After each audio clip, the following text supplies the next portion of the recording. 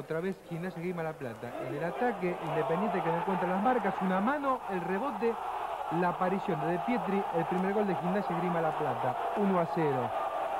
Vemos la repetición, el derechazo, Juan Baba que deja seguir la acción como habrá tenido tiempo el árbitro de pitar. Yo creo que dejó seguir la acción por lo que vio muy solo al bahiense de Pietri